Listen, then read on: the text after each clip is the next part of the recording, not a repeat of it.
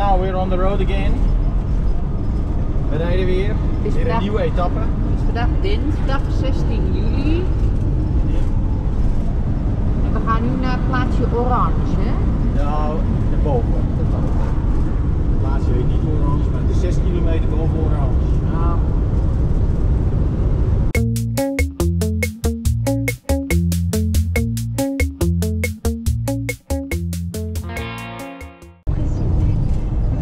Kijk, we zien weer iets heel speciaals.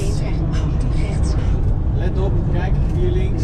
Wacht even nog een klein stukje en dan kan je het zien. Oh, is het nu aan het filmen? Ja, kijk. Het zijn vier kerncentrales.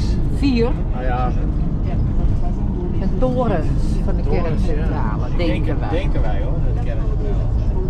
Nou, zo te zien wel, want kijk, daar wordt het uranium verrijkt. Engel, dat weet je toch niet? Nou ja, ik verzin ook maar wat. Ja, dat doe je ook. Ja. En ik laat natuurlijk nog eventjes de route via Google Maps zien. Het plaatsje heet Piolenk. En daar hebben we best wel wat moeite mee gehad om dat te onthouden. Maar we weten het nu. We gaan dus naar Piolenk. Kunnen we het zien? Bonjour. Bonjour We komen nu bij een rotonde waar dus ook de gele hesjes geweest zijn. Actief zijn. Ja, Actief, kijk, daar ja. zitten ze nog. Oké, want we, daar hebben we eigenlijk nog helemaal niet gezien, hè? Ik weet niet of je ze kan zien. Daar zo. Oké. En daar staat ook nog een mannetje. Ja. Kijk. Hier zit niet zoveel water in. Nou, we staan hier. Een prachtig camperplaatsje. Kijk, het zijn eh, helemaal omgeven met eh, hoge bomen en struiken. En we hebben expres, eh, kijk, de sunblokken erop gezet. Want als je, zo gauw je in het zonnetje stapt, dan is het echt heel warm. En we gaan even een stukje fietsen. We gaan naar het dorpje. En het dorpje heet, nou jullie houden het even te goed van me. Dat zal ik vertellen. En kijk, ik heb eh, daar, je kan het bijna niet zien boven die struiken. Zie je, daar hangt mijn wifi versterker.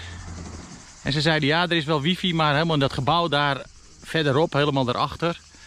En eh, je kan alleen maar hier bij het gebouw. Dus ik denk, nou, dat zal maar eventjes eh, gebeuren. Dus ik die hier opgezet. En ja hoor, we hebben gewoon wifi. En wat denk je? Kon ik eindelijk gelukkig weer een video gaan plaatsen op YouTube. Want ik loop zo vreselijk achter. Nou, omdat we hier toch een paar dagen bleven, heb ik ook eventjes een dronevlucht gemaakt. Zodat jullie kunnen kijken hoe de omgeving eruit ziet. Mago die zit lekker in de schaduw onder de luifel, want het was best heel erg warm daar zo. En eh, nou, ik ga jullie eens eventjes laten zien. Ze zwaait en ze zegt omhoog. Nou, dan kan je eventjes een betere indruk krijgen van de camperplaats. En daar zo daarvoor, dat witte vlak bij dat gebouw, dat ligt helemaal vol met zonnepanelen.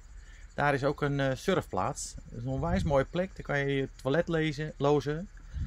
En je kan schoon water tappen en eventueel je auto wassen als je dat wil. Was echt heel mooi. Eh, ik denk dat hij ook nog bezig is met uitbreiding, dat hij het groter wil maken. Dat kon je zo wel zien. En eh, ja, zo krijg je toch wel een beetje een indruk eh, hoe die camperplaats eruit ziet. Je ziet ook, het zijn onwijs grote plekken. Dus, maar hij heeft wel gezegd van, als het nou bijvoorbeeld heel druk is, dan moeten er twee campers op één plek. Ja, dan is het natuurlijk weer wat minder. Maar het was niet zo druk. Nou, mochten jullie deze video nou weer leuk vinden, geef me dan een duimpje omhoog. Abonneer op mijn kanaal als je dat nog niet gedaan hebt. Is trouwens gratis. En het notificatiebelletje aan, zodat je een melding krijgt als ik weer een video upload.